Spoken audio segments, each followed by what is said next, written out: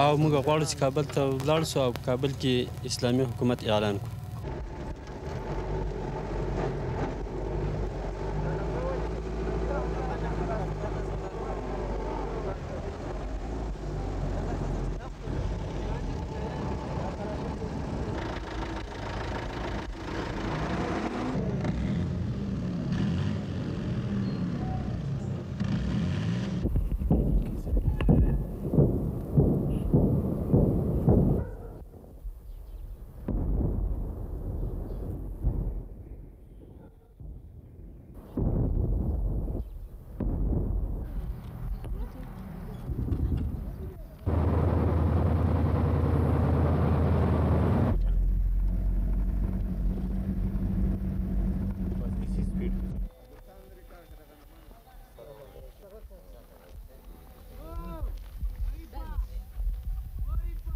بیګاړه ګټه کوي بیګاړه کې څه اساس کوي به درنه غواړم